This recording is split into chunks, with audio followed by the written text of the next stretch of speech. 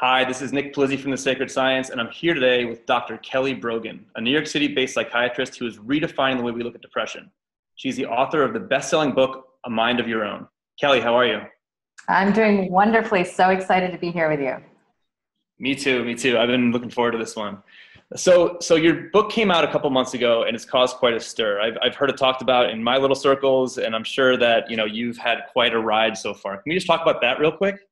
Sure. Yeah. So it's it's an interesting thing because the process that I've I've engaged with this book's production, I guess would be the word, has really helped me to understand that when you come into alignment with something you're meant to do, doors just like fly open, right? Even when it makes no sense that they should, right? So the first door that flew open was that I, you know, that I got this very shocking, you know, the book went to auction, I got this very shocking competitive book deal, which blew you know blew my mind because i didn't even think i would ever have a single publisher interested in what i have to say. I didn't have an internet platform at the time um, was a relative no one and you know had all of these very you know sort of loudmouth opinions about you know everything I had learned. So so that was the first thing, and, and I you know got a contract with HarperCollins, and they are very used to when you know they put seven figures into a book. They're used to waltzing their authors on to the Today Show and Dr. Oz and you know 60 Minutes and 2020. And it was uh, I had told them I said you know I've been involved in activism uh, pharmaceutically based activism for many years now. And let me tell you what i've understood about the media you know and, and who's pulling the strings and and who's subsidizing the information flow uh, in these mainstream outlets. And they are not going to give me airtime. We need a plan b right? So no plan b was you know um, you know manifest. And it was a month before the launch on march 15th when we got a no from every single mainstream outlet um, in print, um, online, and on TV. And they had never had this experience before. And you know, I literally got like a tearful call from the publicist at Harper. You know, because of course they see all their money, you know, flowing down the drain, right? And and I basically, you know, went back to my people, you know, my friends and colleagues, and I said, you know, I'd really love it if it was more than just you guys who read this book because I feel that we're coming to a really um, pregnant time, you know, in our collective evolution for a readiness to receive this information about you know how we should engage human suffering and what what is the role of medication in that process. And have we been told some you know a couple of half truths or lies around um, the role of conventional medicine in navigating human experience? So i said i really think people are ready so what do i do you know if i can't get this on on box?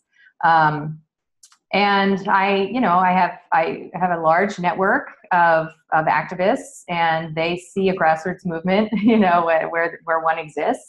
And i just had everyone you know go go to bat for the message. And so that's independent media you know it's it's people like yourself. It's people um, who resonate with a truth and they want to spread the word.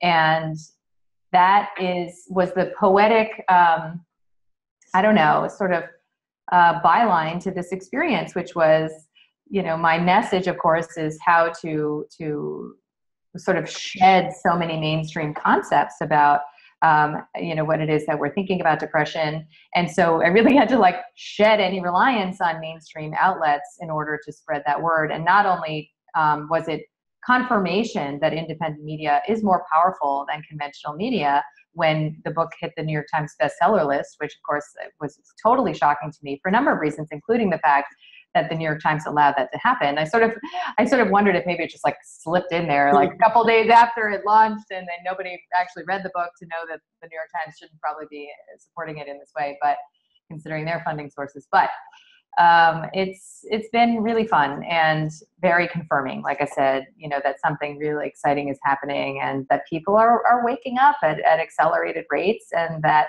we can change the way information flows um, throughout communities and even countries. Um, you know, with our own language, and so it's it's been it's been fun. And I never was worried about it for a moment because I knew that this is you know again how it how it was meant to unfold yeah, good information has a way of finding the right people. Right. Um, so yeah, in, in a lot of ways, um, our project had uh, similar resistance or what we what we thought would be maybe resistance. Yeah. Um, and it's been amazing to kind of see how you know when you stop even we stop trying to rely on the television on television or any of the mainstream you know news sources you know communities really come together what i wonder is um, and it was surprising surprising me when i read your book is this is not how you always were. You were you were you were kind of steeped in more of a conventional medical background you know and this is you know so I, I wonder when i when i read that what was the turning point for you? When did you have that aha moment where you're like oh wait a second this is i need to rethink everything. That you know was there one was there one thing that you kind of experienced or did it kind of happen gradually over the course of you know a few years so it's funny because my daughter is seven and she wrote me a birthday card as my birthday recently and she wrote me a birthday card and she, about it was a little book i guess about me right? So a book about kelly brogan and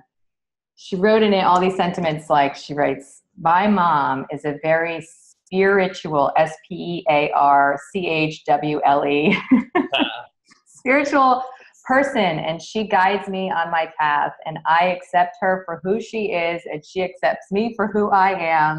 And it was like all these like really intense um, almost platitudes and I sort of marveled and reflected on my own upbringing and how these concepts again you know when, when you know better you do better I, I my parents are amazing human beings and they they continue to play an enormous role in my life but um, they, you know, my mom is an immigrant. Um, my dad really pulled himself up from the uh, socioeconomic bootstraps, and you know, they did the best they could. But I was certainly raised uh, without any degree of consciousness. You know, I was raised in a very um, binary sort of world of good and bad.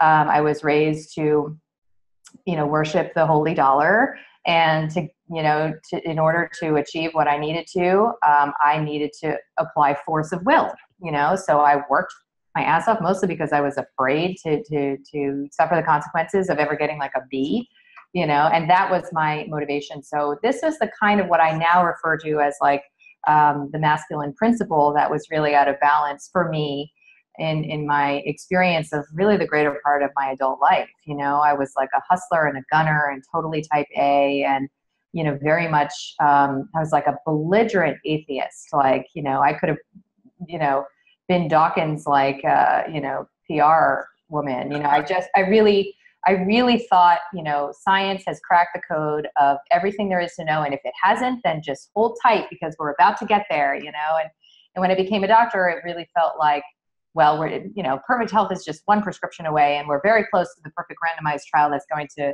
you know, give us the information that we need. And, you know, it's just the human condition. We're born this way, and we just have to manage the bad luck and purposeless findings that arise in, in these very flawed bodies, right? Um, so, because people never change their minds through science and they never change their minds through information, they really only ever change their minds, in my opinion, through experience um, it was my lot, you know, to to have my own health crisis, as is the case with almost every turncoat physician. You know, they've had their own um, experience of the gross limitations of the model, right? Mm-hmm. So um, I developed a autoimmune thyroid condition after my first pregnancy, and I had been specialized at that time in writing prescriptions for pregnant and breastfeeding women, psychiatric prescriptions. That's what I did for a living. Um, and I remember, you know, sitting with a pregnant patient. I was pregnant myself, and writing her a prescription for Zoloft. Which, you know, after sitting with her and her husband and going through the 25,000 cases in the literature that basically are reassuring of the fact that her baby wouldn't be born with extra fingers or toes and probably it's fine. Um, and I remember having this feeling like I would never want to take this medication as a pregnant woman. And it sort of like jarred me, right? Because here I am writing these prescriptions every single day and this dissonance was arising and i just totally ignored it because i had no tools to you know engage it. And so it wasn't until I developed that um, illness and, and was formally diagnosed that that same voice came up and i was like well i don't want to take a prescription for the rest of my life. This sucks. You know so i had the strange sense to consult a naturopath which was so unlike me. I was so derisive of you know anything but you know the formal model of conventional medicine um, and she told me, you know, to, to change my diet primarily, gave me some supplement recommendations, started to talk to me about things like exercise and breathing, you know, which I've never made time for. or even thought had any value, frankly. Um, and I put into remission a chronic illness that you're not supposed to be able to put into remission, right? And so this was a red flag for me like none other because it really invited me to question everything that I had learned. If this very foundational premise, you know, that chronic disease can be put into remission through lifestyle change, I mean, this flew in the face of everything I had learned. So I started to turn over stones. I turned over stones, you know, because I had a baby at that point. Um, around antibiotics and vaccination and around food production and started to look at um, every medication I had ever prized. I took birth control for 12 years. I took, you know, myself, I took beta blockers because every once in a while I get like a heart rate that would bother me. Um, I would take, you know, anti-anxiety medicine like Klonopin when I felt like it or was having trouble falling asleep after call. You know, it's just like a very loose and limber relationship to chemicals that I had to revisit now because um, it was only in the idea of having a lifelong marriage with the chemical that I began to feel discomfort that obviously was in there somewhere and and I, you know, and so that was the end. You know, that's when I began to understand patterns in pharmaceutically based medicine that I still uphold today, and why I actually have come to the pretty radical perspective that there is no role for pharmaceuticals in human health. And you know, I I know I tend to be a bit of a zealot. Um, I have that streak. But I will stand by it, and I will show you. You know, if you want to use the language of basic science, we we can do that. You know, I have I have a lot of questions about whether or not we should even be relying on that to help navigate us anymore. But I can show you, you know, primary literature that would help you to question whether you should be taking Tylenol or Zoloft or Prilosec or a statin or taking an antibiotic like Z-Pak, you know, for your bronchitis, um, just to sort of help broaden the conversation. So it's really sort of um, spread into every crevice possible. And, and it, of course, was the beginning of my, my own personal journey, which has unfolded only after I healed myself physically. So, so why depression? You know, a mind of your own is, is focused, I mean, primarily on depression, yes. although there are a lot of little offshoots that make you realize that, you know, everything might be linked to the same, to the same cause, but why yeah. depression specifically? Right. So, so what you're saying is very true because the illusion of these different diseases being different diseases um, is one that I'd like to myth bust. You know, up front. You know, is depression really different from any other physical illness? In that it's just a message that there is a source of imbalance to be examined. Right. Um, but depression, I think I wanted to reach the most people I possibly could with my credentials, quote unquote. Uh, and the truth is that you know 11% of americans are taking psychotropic drugs one in four women of reproductive age are. Depression is the leading cause in the world of disability according to the world health organization. So i couldn't you know i couldn't pick a heavier hitter. Um, and it also happens to be one that that touches the very core of major questions we have to begin asking about our orientation towards our bodies and our um, real lack of acknowledgement that there's anything beyond the body in all of conventional medicine. You know, that there is such a thing as, um, you know, a soul or spirit is something that you know despite the fact that psychiatrist actually means doctor of the soul it couldn't it couldn't be more um, divorced in a really cartesian way you know from from any acknowledgement that there is any role for experience, right? Everything is management and uh, functionality and, you know, punching the clock and staying um, productive. So it, it, happens to be a subject that really lends itself to, to looking at these bigger issues, which I think do uh, manifest in other physical illness as well. One, one of the spookiest things that I've ever I've ever encountered was two two very close friends of mine. You might even call them fam, very close family members. Um, got divorced, and when they got divorced, they were, you know, the first thing that their that their psychologists did was they refer them to a psychiatrist to prescribe them some kind of an antidepressant. It's a perfect example. And, and, there wasn't, and these are very smart people, and they both did it. They both took it, and because you know, I think that there is sort of this we just do what our doctors tell us to do. I mean, you're, you're, it's just the way that we, we were raised. If the doctor tells you to do something, then you give it a shot, you know, unless, unless you, you know, you experience, like you said, like a transformative illness of your own where you have to find other ways. You don't really ever come to that conclusion you just do what your doctor tells you to do. These people both took antidepressants and started fading away. Like, you know, they were, yeah, they weren't, they weren't like, they weren't like crying or like, you know, and, you know, curling up in a fetal position, but they were also not themselves. They were gone. They were basically just gone for a couple months until I started, my, and my, my sister started, you know, both being like, hey, um, what the hell is going on? Like, are you kidding me? You don't know, you're, you're really doing this to yourself right now? So, I mean, the fact that this is not, um, this wasn't a chronic condition. This, this, this wasn't even a chronic condition. This wasn't even, this was nothing. This was just a life circumstance that they were prescribed medicine for. Yes, it's amazing. You know, I love that example because it really illustrates what we're dealing with here. You know, there, there's recent data just out that echoes previous data that suggests basically most prescriptions for antidepressants are written by non-specialists, so mostly family practice doctors and GPs, internists, and that more than half of prescriptions are written not for depression, for like dog dying, for divorce, for circumstantial experiences. And listen, doctors, for the most part, I have to believe, are not bad people. You know, this is the tools that we were given to ease struggle and suffering. We want to fix it, right? That's part of the problem is the whole mentality of conventional medicine is fix it, fix it, fix it.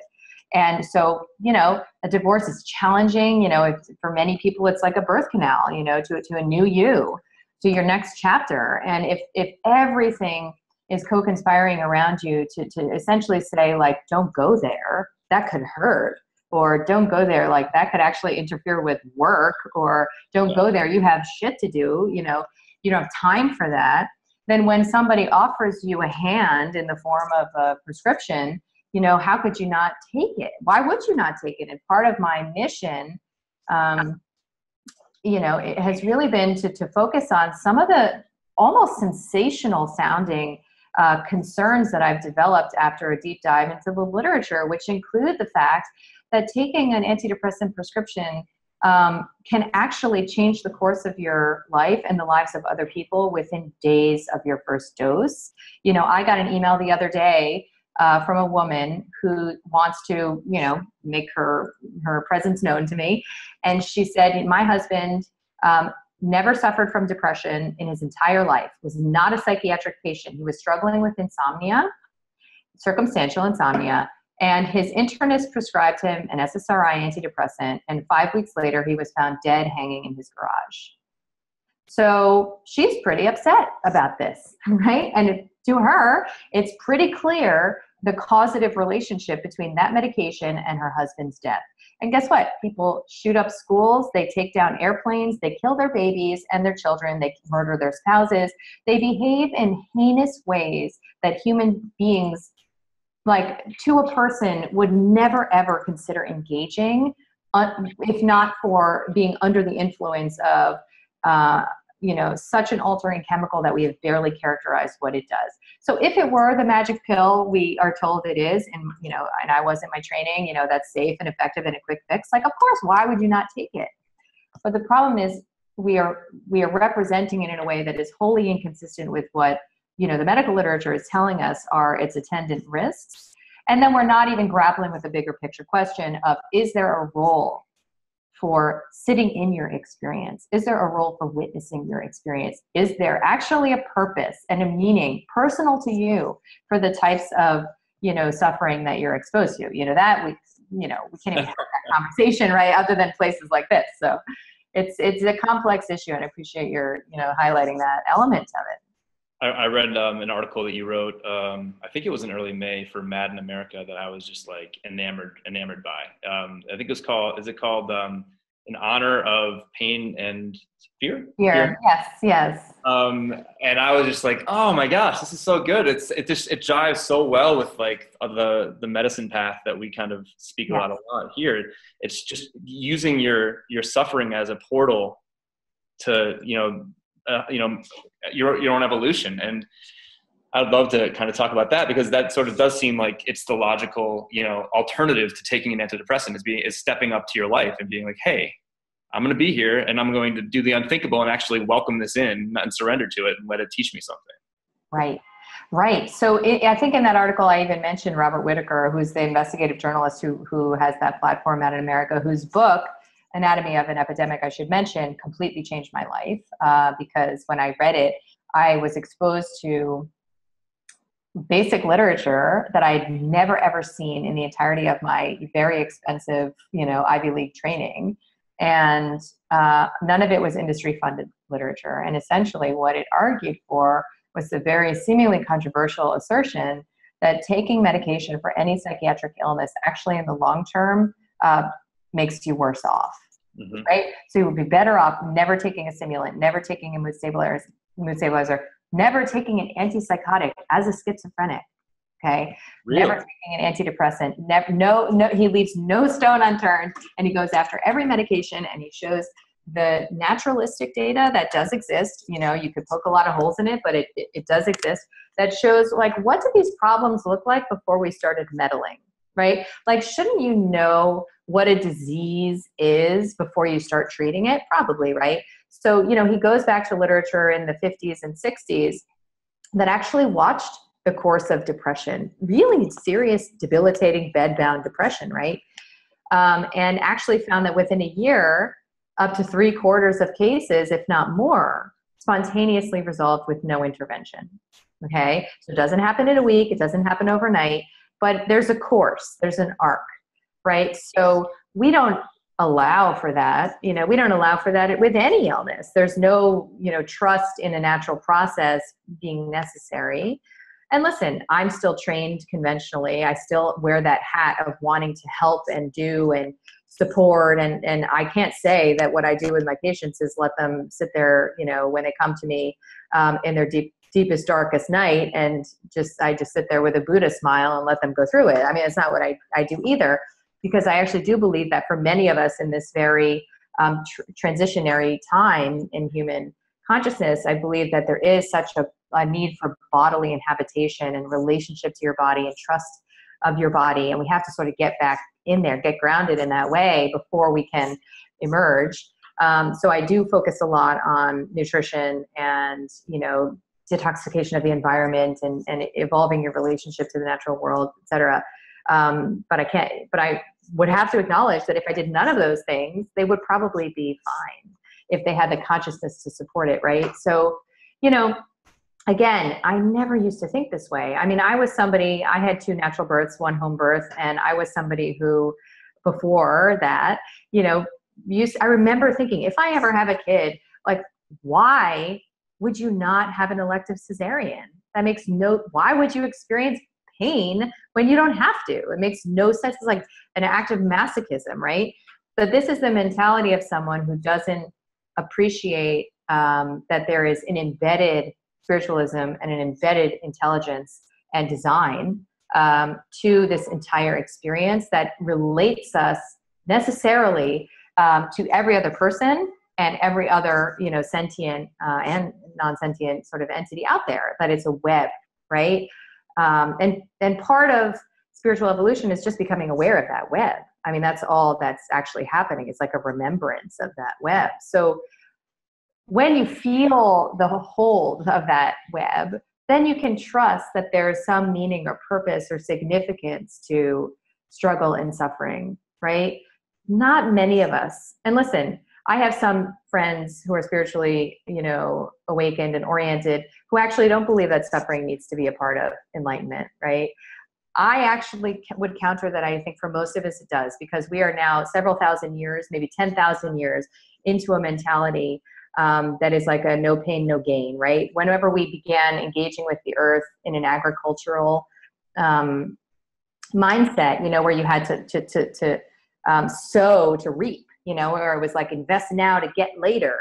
This whole um, sort of trust in the in the infinite abundance of the earth was shifted, right? It was became more of a managerial relationship, and I think that has really permeated our psychology to the extent that most of us who have grown and taken quantum leaps in our own development have done so through suffering, through loss, through death, you know, through unforeseen horrific circumstances um, that you that you chose not to resist and that you actually emerged out from the other side of, right? Most of us don't have like an amazing wedding with a beautiful party and feel transformed. You know, it's just not it's not the way I think we're configured at this moment in human history.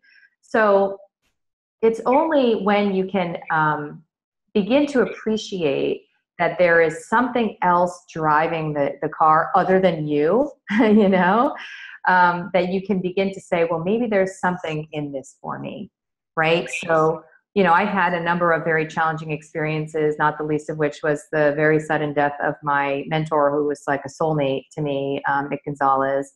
um, last summer, and I, you know, really was brought to my knees in the way that a very shocking type of loss often does, right? Where you realize there ain't nothing you can do, and you can either say no, no, no, no, no till you know you're blue in the face, or you can understand that there is nothing you can do, and you just have to let it wash through you. And so that was a very profound experience with um, understanding that there are tools that I could engage to help me remain open to something that just made me want to close, close, close, close, close.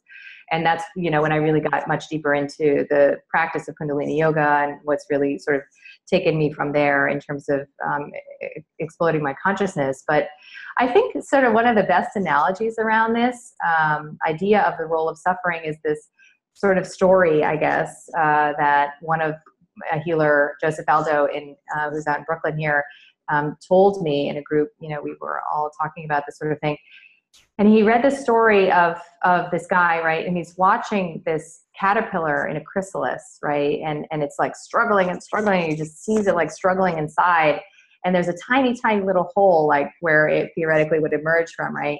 And and so he just feels so bad, you know, watching this. And thinks, well, look at me. I'm this big man. I could do something about this, right? And so he takes a pair of scissors and he snips the chrysalis, right, to, to, to let, you know, the, the butterfly out, caterpillar turned butterfly out. Um, and what happens is that the, the, the butterfly emerges but is incompletely developed and can't ever fly and eventually dies, right, without ever, you know, um, ever reaching the air. And it's such a poetic illustration of how, when we interfere with so many of these processes, be they physiologic, like a human childbirth, for example, or psychospiritual, um, like you know, an experience of loss, you really stunt um, your development, and, and, and you really interfere with what it is that you could um, engage or enter. And so, until we create a space for this kind of suffering, and we all hold it together so that when somebody is going through something like a divorce, um, we all say, you know what, I know you really feel like you need to do something right now to make it better. You know, whether that's get on a medication, you know, have a drink, um, whether it's like, you know, make, making a, a phone call you shouldn't be making or shooting off an email. I know you feel that way, but just sit in it. Mm-hmm. Sit in it. And I'm going to just sit here with you. That's it. I'm not going to give you advice. I'm not going to help you fix it. We're just going to sit in it. And I'm going to hold space for you to just be in it because it always transforms if you don't resist it. I mean, philosophers since the beginning of time have been trying to tell us that resistance is the pain, right? Um, and, and if you can just understand what it is, not to resist.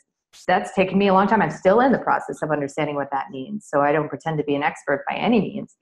But I do know that there is a deep, deep, deep value, and it's maybe our only way out of, of sort of the, the mess we're in right now is to appreciate this concept so many questions from what you just said. I mean, for the first being, you know, the, just early, the, earlier on in your answer, you you mentioned that you know this is really part of our birthright as kind of an agrarian society. But I, I see I see planned suffering in tribal cultures. You know, I mean, you know, rites of passage are there to yeah. teach, and they are definitely not comfortable. I mean, I don't know if I if I know of one rite of passage that is is comfortable. Pleasant, right? Right. There's no. They're not sweet sweet sixteens, right? exactly.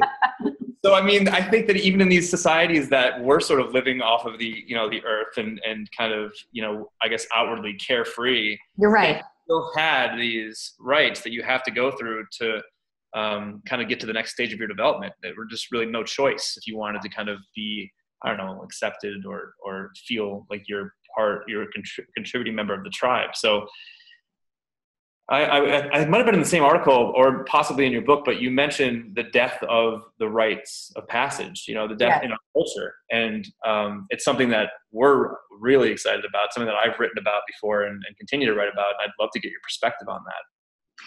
Yeah, so it's exactly what you're saying, you know. So um, there, there is this this sense of having to prime, sort of like prime the pump, you know, right?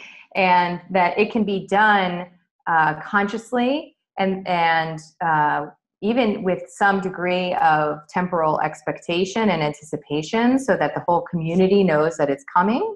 And so this is almost a, it's almost actually a gentle way to engage um, technologies of ritual and initiation because in tribal culture and literally on every continent, you know, like you said, I mean, every, um, you know, from, from African tribes to Native Americans and beyond, there has been a um, sort of like tribal and community acceptance for the importance of um, priming consciousness in this way. And so, you know, obviously, as I wrote, I mean, it's my sense that women have um, this built in ritual, you know, of, of, of, potential childbirth. And honestly, even if it's not engaged in that way, um, often there is a surrogate experience for, for many women, right? But childbirth is in all of its stages, um, you know, including the like someone has written about the four stages of childbirth as reflecting any kind of evolution of consciousness where you know there's this sort of like dark comfortable ignorance right? And then you sort of like enter the canal and you want to go back up you know? It's like very uncomfortable and you begin to feel the squeeze and you don't see the light uh, mm-hmm. yet. And so there's hopelessness and a feeling of almost a death and a loss and a departure from where you want to be. And then you sort of begin to see the light and you understand that there's work you have to do to get there. And then you emerge, you know, individuated um, or self actualized in, in this important way. And so, you know, many of these rituals sort of have that form where you have to move through a test of so many of your beliefs about yourself, your potential, your trust in, you know, the fact that what is intended to unfold for you will unfold. And my understanding from a lot of these rituals is that sometimes people actually did die, you know, sometimes they actually were, um, you know, that perilous, you know, having to like personally um, kill a lion, for example, you know, as an African ritual. Sometimes involves like yanking your tooth out or a vision quest, you know, out in the wilderness with nothing, you know, for, for three days. Um, one of my favorites is, you know, cutting off and eating your own foreskin. So listen, maybe we have nothing to complain about here when we encounter our struggles. Uh, but but just like childhood um, illnesses, you know, that now we have considered so anathema to to uh, natural human existence. Um, childhood illnesses like you know measles or even chickenpox, um, to some enlightened pediatricians, actually have a role in priming the immune system and educating it about self and other so that later you don't struggle with things like allergy and autoimmunity, right? And you're not totally destabilized by a tick bite or Epstein Barr virus, right? So maybe when we can use um, ritualized initiation and you know controlled experiences of suffering, we are better immunized in a natural way, you know, for what comes later, and we recognize internally that oh yeah i felt this level of hopelessness and fear before and everything was fine you know? So i think it might be again you know and that's why i've really connected one of the reasons i've really connected to kundalini yoga is because um, you know having done vinyasa for 20 years and never really gotten much in the way of enlightenment out of it um, you know when i have my you know arms above my head for 62 minutes and after the third minute i feel like there's no possible way um, i have another you know hour in me um, and I push through what my mind is telling me about how I can't do this, even telling me something like catastrophic could happen if I continue. Um, I push through that, then you actually engage this relationship with your own um, psyche that frees you for the next time you actually experience struggle or suffering in real life uh, and you feel like more prepared more prepared you know a lot of the breath work in kundalini yoga for example is extended exhale holds right try it. You know try holding your breath out for 30 seconds and you'll you'll literally feel like you might be on the verge of your own death.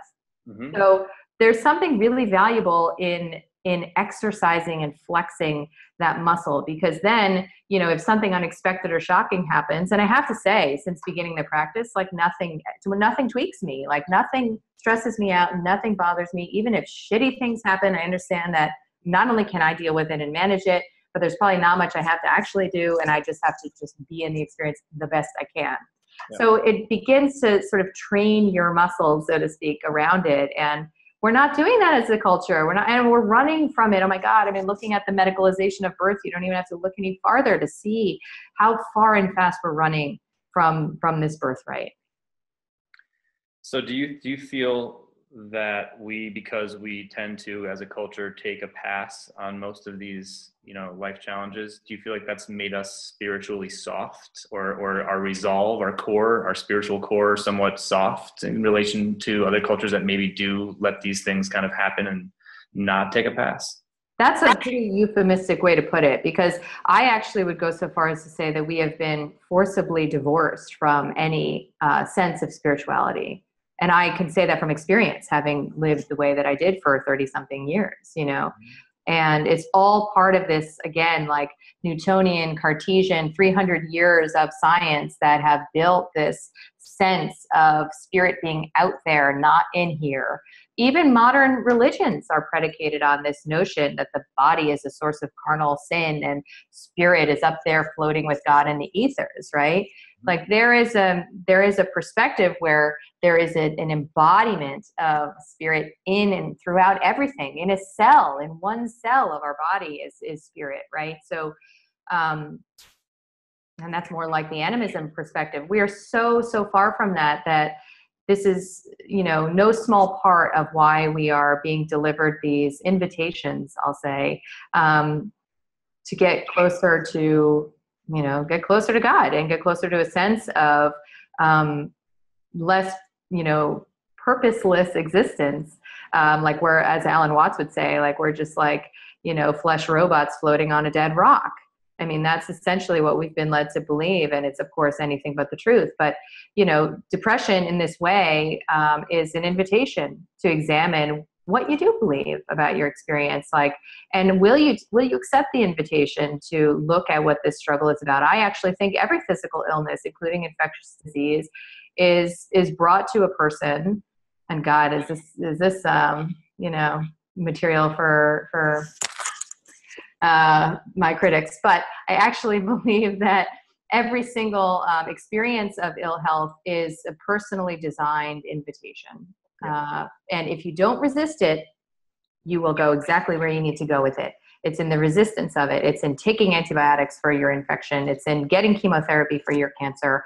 Um, it's in taking an antidepressant. It's in getting that epidural. And listen, I know I push a lot of buttons and I understand because I used to believe all of these things were totally essential and, and worse, that you would be irresponsible not to engage them and that the government should actually forcibly, um, you know, make sure that you do. So I get it, uh, but I've come to understand that there's no free lunch. And listen, if you look at any pharmaceutical product, you'll see a pattern, right? You'll see that there is a story about a problem and that there is a lot of fear around the support of this problem, right? Of this story that we're being told about what's wrong. And then there's a product that's going to fix the problem, right?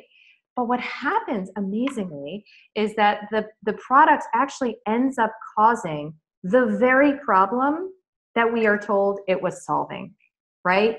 So you could look in whitaker's book and you know and on mad in america and you could find evidence for every single um, psychiatric medication actually causing depression in the case of antidepressants causing relapsing psychosis in the case of antipsychotics causing mood instability over time causing in, inattention after two months of a stimulant, causing rebound anxiety in the case of a benzodiazepine. They're causing the very problems that they promised to resolve, and that's because the problem never existed in the way that they said it would. And that's true for antibiotics, which disrupt your immune system so that you actually end up developing infections that you were hoping to cure with your uh, antibiotic you know you, you could look at acid blockers that induce a state of such sensitivity to, to aberrant acid production that you wish you never took it in the first place. And the same with painkillers and the same with vaccines. I mean, it's the same with every single pharmaceutical product where we've just bought into a myth. Um, understandably so. And, and, and the sooner we can disabuse ourselves of the false promises, um, the sooner we can begin to understand how to navigate this uh, human experience in a way that will leave us feeling so much less fear so much less fear and so much more you know native trust in the process and also an ability to navigate towards the kinds of people who will help us to uphold the you know incubation of a very different kind of consciousness i love the idea that that, that illnesses come to us um, as sort of messengers or teachers one of the one of the traditions that we work with in the Amazon um, looks at diseases as mothers. They actually call them mothers. Yes. yes. They say that you know you, you the disease becomes pregnant with you, and if you in the womb of the of the mother gets you know if you listen and learn, then you'll be you'll be rebirthed anew. If you don't, then you'll be rebirthed, but just not back into this life, into the next one. Um, but these are these are matriarchal cultures, you know. I think that's sort of maybe at the some sort of an, uh, sort of a kind of underlying theme that we're starting to kind of talk more about with, on the sacred science. And I, I wonder how you feel about is just the idea that this, that kind of this patriarchal society we live in. And I'm not saying that men are bad. Obviously I am. No, no, it's not. But, it doesn't mean but, that. Yeah. But, but, the thinking, the thinking that, that, you know, it, it, helps. It's, it's helped in a lot of ways. It's done amazing things. Um, but in a lot of other ways, it's failing us miserably. And I just wonder, wonder how you feel about that. Yes. So I actually, um, feel very strongly about that issue because I again identify as having having I you know operated from my masculine principle for a long time, and I can. Inha- I was a feminist. I've been a feminist my whole life, you know, but I was a feminist who who believed that the HPV vaccine was the a gift to women that entitlement to birth control was you know the greatest thing and that elective mm-hmm. cesarean is something that every woman should consider right so this is the kind of feminism which is like you know how do i suppress and strip every aspect of my um, womanhood so that i can compete on par with the masculine principle and all the men out there um, and it's very much a gender um, you know non-specific problem right because there are so many I would say most men today who have so little contact with their feminine principle that they have only the tools of, you know, dominance, mastery, uh, productivity, sort of, um, you know, aggression, if you want to look at it that way. Uh, and and they, they don't have the tools that they too need, you know, to integrate their own experience. So this doesn't have to do with men or women. It, we each embody both, as you know, both principles, but it's about balance. And so, you know, my estimation, and, and based on a lot of my reading, um, including a wonderful book I really loved um, by, by Vicki Noble called Shakti Woman, which is essentially talks about there being, you know, four to 5,000 years now of um, non-tribal living, right? So, so where we have, you know, begun to domesticate um, the land and ourselves in a way that has supported the simultaneous evolution of a type of consciousness that really um, was based on separation. So, separation from each other, separation of body from spirit, separation of us from nature, and that that is considered sometimes a masculine dominant principle and a, a patriarchal model uh, and now that we're beginning to be pulled back to what is called in another wonderful book by Liedloff, the continuum concept, right? We're beginning to be called back to what over several million years of evolution is, is embedded in form of an expectation, you know, for our mind, body, and, and soul to have a certain experience as we come into this world, right? And she really focuses on in arms contact as an infant for six plus months, you know, until you crawl nonstop okay? So there's the whole like attachment parenting movement but but there's some um there's something real there right? Because if you don't actually have the expected experience that tribal people you know she followed a south american tribe for several years and found that they stuck their babies on their bodies and walked through rivers and rain and jostled them around. Everywhere was noise all over the place and that if you don't have that expected experience then you spend the rest of your life seeking to fill that hole right, right. seeking to ease that sense of something missing and that it's hardwired within us right? So so literally probably opiate level wiring. She talks about how heroin is often you know people people abuse uh, many drugs but specifically opiates in in an effort to soothe that um, wound right? So you know you then we end up seeking these what are what are called secondary satisfactions so whether it's you know drugs or power or sex or money and it's a black hole that you can never fill uh, because the primary you know source of satisfaction was totally um, sidestepped early on. So i believe that that's what's happening right now uh, is that we're being sort of called back to something that we couldn't have strayed too far from uh, but that we sort of needed to you know my my friend Charles Eisenstein is a is a philosopher who's who's written brilliantly about this subject. You know how how the idea is not to revert back now to old ways. You know the idea is to incorporate the best of how we have grown, but to apply it with a very different consciousness and a consciousness that seeks to uh, allow nature its ultimate fulfillment. You know rather than um, seeking to dominate it and and to lord and master over it as as humans right? It's just a mindset shift and then that mindset shift will allow us to understand how to move forward. Because it's like einstein says like you can't use the same tools um, you know the same consciousness that got you into this problem to solve it. We have to we don't even know what the solutions look like. We have no idea. I mean that was a big sort of birthing process for me around my activism because I became really, as is very commonly the case, you know, and why I, I actually, you know, was very helped by Charles's work is, you know, you can get to a point of feeling really bleak. Like I'm just one person. What I'm doing isn't working. Everything is so messed up. You know, why did I bring kids into this world? It's never going to get better. You know, there's fluoride in the water and medication everywhere and glyphosate in the rain. And now what? You know, and um, the truth is that you have to shift and, and, and work on your own um, experience. Uh, and that's actually, if we each do that, then that's actually, you know, the soil from which um, the next story will grow. So I don't even think we can see it yet because we're just in that process of honoring, you know, how to get in a, into our own psychospiritual alignment. So it, it, just to go back to the, the one in four women are, are using some kind of medication to to control their mood and, and you know emotions. If there's if you're somebody who's watching this right now and you realize oh yeah i'm one of i am one, that one and part of that one in four like but you don't have access they don't have access to you what do you do? I mean how do they mm-hmm. how, you know what's what's a safe and reasonable way for them to take a step in the right direction? You know i'm so glad you're asking this yes.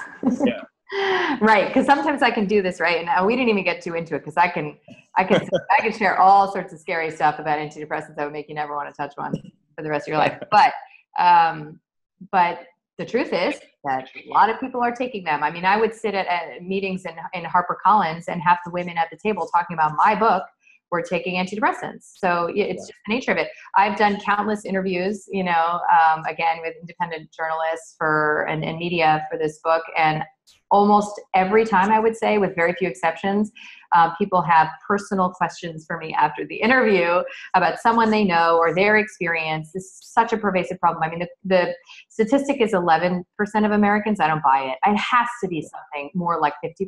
It has to be um, who, who are taking psychotropic medication. So there's a good chance that people listening are. So I would I would say this. The first thing is you have to decide what story feels true to you, right? So so let's just be reductionist and talk about two stories. So one story is you you were born with you know genes that are going to determine what kind of person you're going to be in this life. Um, your body is inherently flawed and, and really you know like a bit of a minefield in terms of the things that can go wrong in your human experience. And there are probably going to be situations where you just need to accept that pharmaceutical products are going to be a part of your life and you just need them because otherwise bad things can happen. Right? So, so that's one model. But then there's a, another model that, that is the one we've been speaking about, right? Which is that actually genes determine very little um, relative to environmental and lifestyle influences of about our physiologic experience of health, right? That actually the body doesn't make mistakes, and when it's reacting, it's reacting for a reason, and we need to learn the language of communication with it to understand why it is that we're sick in the ways that we are. Um, that there's actually tremendous power, maybe superior power in lifestyle medicine relative to pharmaceutical medicine if you just dedicate yourself to it exclusively. Um, and, you know, there's probably some reason that this is your journey.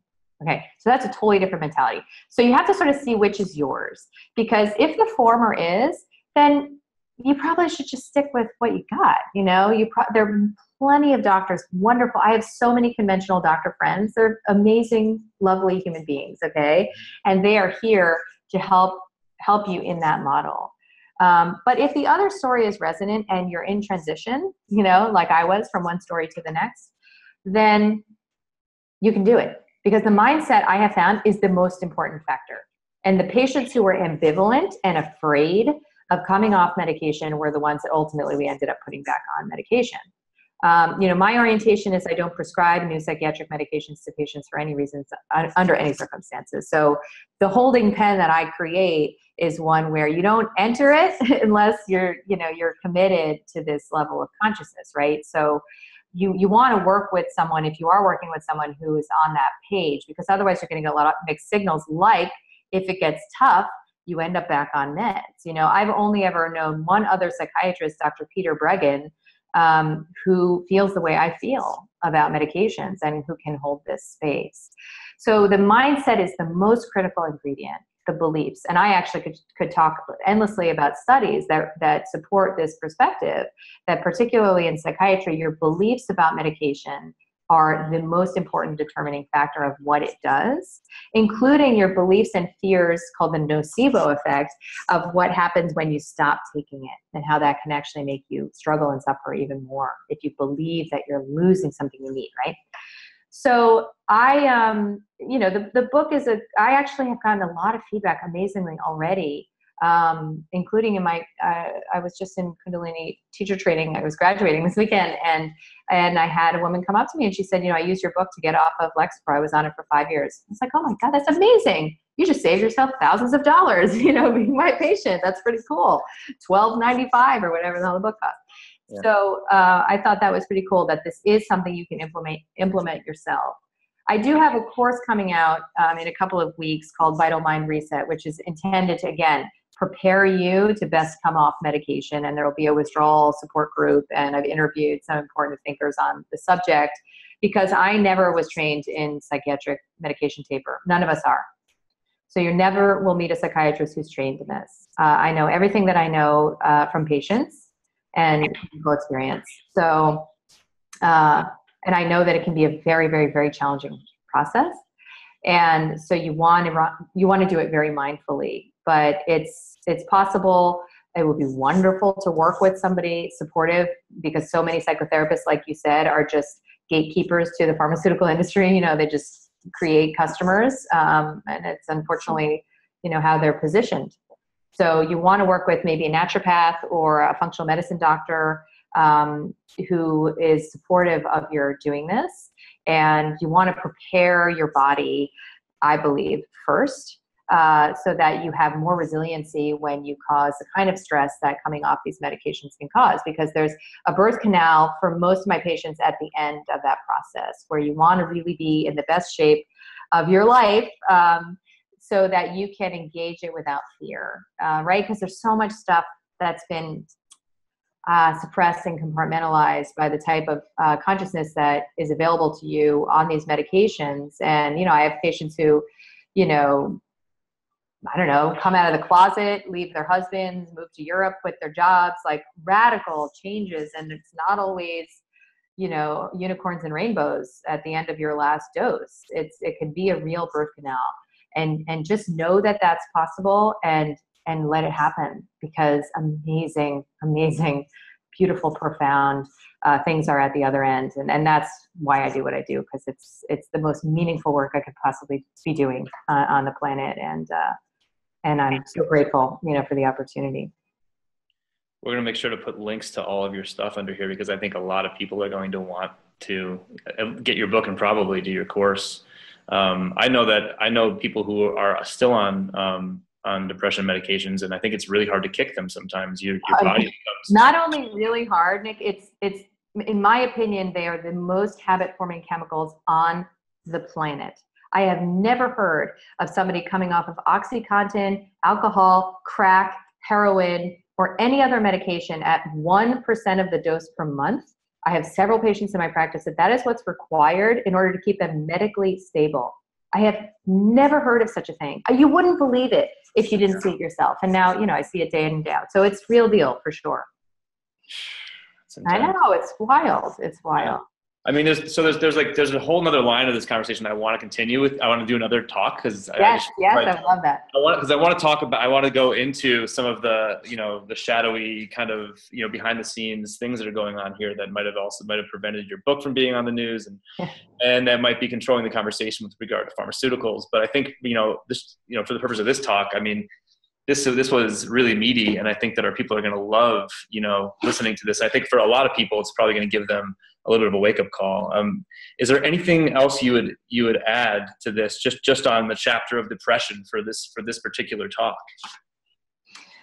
Yeah, I mean, for me, first of all, it's so exciting to be speaking to an audience like this and of this level of consciousness because, you know, I'm often either speaking to uh, conventional doctors and, and audiences or um, sort of speaking to the you know sort of health community alternative medicine community where there's a general idea that these principles of lifestyle medicine are critical um, but not for mental illness right? So it's like sort of bringing bringing psychiatry out of the you know catacombs and, and into the light uh, where the rest of um, medicine has been uh, i don't know putting Parkinson's, MS, Crohn's disease, cancer, and all these things into radical remission through dietary change for many years, right? So I'm just putting psychiatry into that um, fold.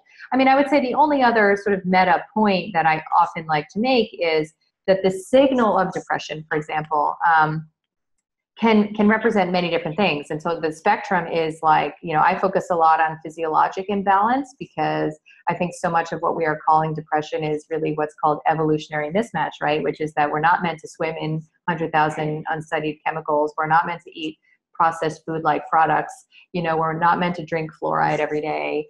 Uh, you know we're not meant to have no sun exposure sit all day you know and and you know go to sleep with our television blaring. So so the what's what my friend Alan Logan calls paleo deficit disorder, you know, so this can manifest like many things that look psychiatric and can earn you a prescription if you're working with someone who doesn't know to ask certain questions but they cause these problems in the environment cause things like thyroid dysfunction, cause things like autoimmune diseases, cause things like nutrient deficiencies like B12 or food intolerances that activate your immune system like wheat or dairy. Um, you know, medications that we take can cause psychiatric symptoms like birth control or painkillers or antibiotics. And so all of these um, problems aren't often acknowledged to be psychiatric in nature and they really often are right? Like you have a thyroid problem and you have depression. No they're the same thing. They're both coming from the same place. Depression is not a disease. It's not a disease. It's it, you know it doesn't behave like a disease in any of the ways we have come to categorize diseases in western medicine. So we have to look at it as a syndrome and really as a symptom right? So it can be physiologic or it can be psychospiritual. You know it could be a message that you're mismatched with uh, your a primary partner. You're mismatched with your career. You haven't come into alignment with what it is that you're here to do on this planet. Or you're having community deficiency. You don't have that tribe you're not waking up to many eyes every morning you know and and there's something about it that just feels wrong you know. Many people would argue that the depression that we're struggling with. You know i just had lunch the other day with um, marianne williamson and she has a book coming out on depression. And and her perspective is one that makes sense to me. Like it actually only makes sense that we should be feeling depressed. you know?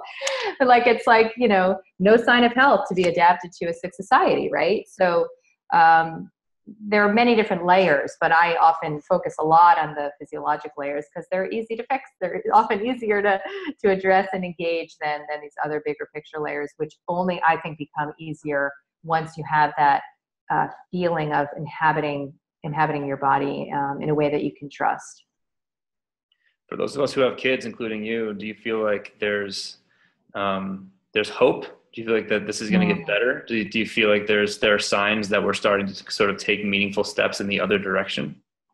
Uh, so this is such a big question because if you had asked me this um, in like August of last year, I would have said, you know what?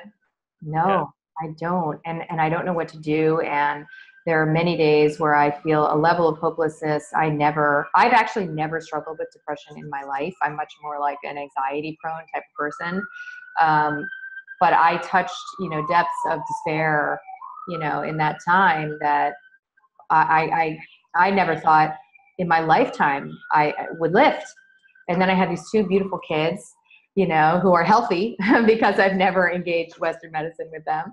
Um, but but what's going to happen, you know, when the rest of this earth is disgustingly falling apart and everything, you know, from genocide to planetary decimation is, is just coming like a runaway train in our direction. So something shifted for me. Um, I wrote about it actually in a, a blog I called um, Beyond the Ego. It's about sacred activism, right? So, so it's just the shift that happened for me where I began to see no, this is all part of it, right? Like it's the meta picture for the micro picture we've been talking about.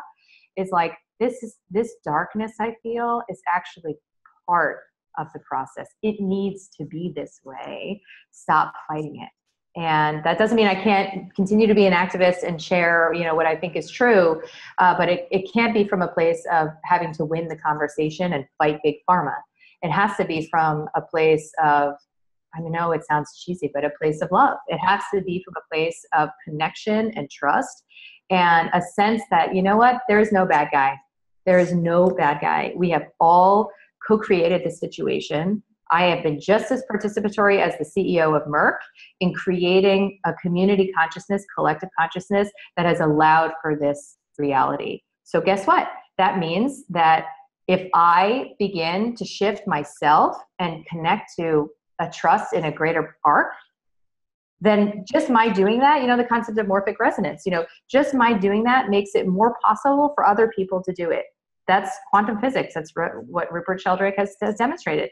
And I love that because it takes the burden off of me to have to change the planet, right? All I have to do is wake up every day and work on connecting to purpose, work on, you know, coming from a place of deep, deep gratitude for the beauty in this experience, which by the way is still very available to us. Just like get out in nature for 10 minutes and you'll feel it.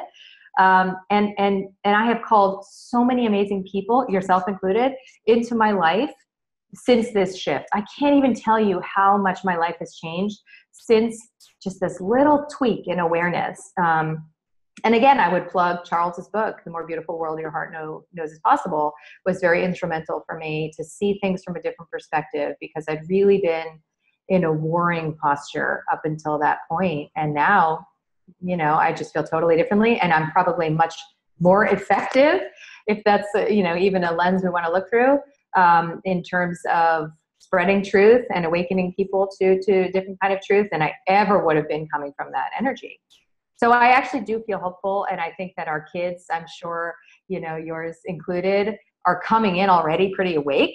You know, they're like ready to roll. Yeah. And if we don't interfere, they're going to help us understand where it is that we need to go. And, you know, it, it can absolutely be beautiful in ways we can't quite imagine at, at this point, but we, we, like he says, we know, we know are possible. I love that. It, it needs to be this way. Stop fighting it. I'm just going to have that, like, you know, written on my wall for the rest of the week. Yes, right. True. True. For the big and the small picture. Totally. Yeah. Kelly, it's been amazing talking with you today. Oh my gosh. Total pleasure. I told you. We're going to be talking about a lot, a lot of other things in the future. And uh, I'm sure I'm really excited to hear from you. Awesome. Thank you so much for taking the time. I know what a busy man you are, and I'm so honored to, to, you know have the opportunity to communicate with your with your tribe. So thank you.